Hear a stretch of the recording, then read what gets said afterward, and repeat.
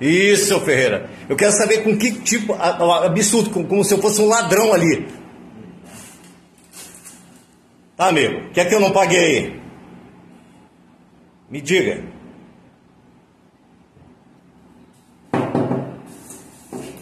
Me diga o que, é que eu não paguei aqui, amigo.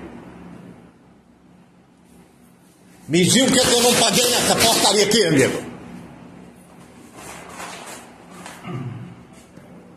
Me diga o que é que eu não paguei.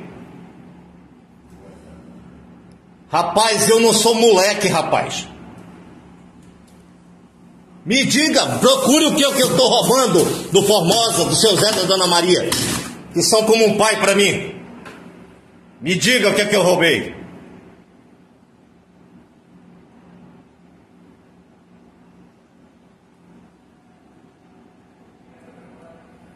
Vamos lá, me diga, procure, bote alguma coisa aí no meio. Fui tirado Fui tirado lá do meio das pessoas como ladrão. Fui visto dessa forma. Pegado pelo braço. O que é que eu, que eu. Ferreira, o que é que eu estou devendo aqui, Ferreira? O rapaz me pegou pelo braço como se fosse um ladrão. Eu sou um professor, um professor, rapaz. Que vergonha, rapaz.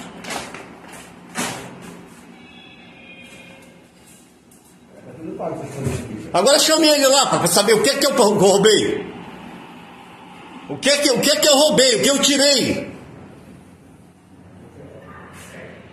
Bora lá, o que é que eu roubei? O que que eu roubei? Me diga.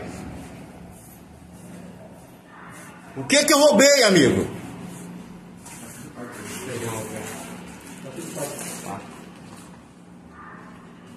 Você pegou no meu braço como se eu fosse um bandido. Eu posso ser, eu preciso ser professor, rapaz. O que que eu roubei? No procedimento não é esse dentro de uma loja, rapaz. De pegar no braço de alguém, tocar na pessoa.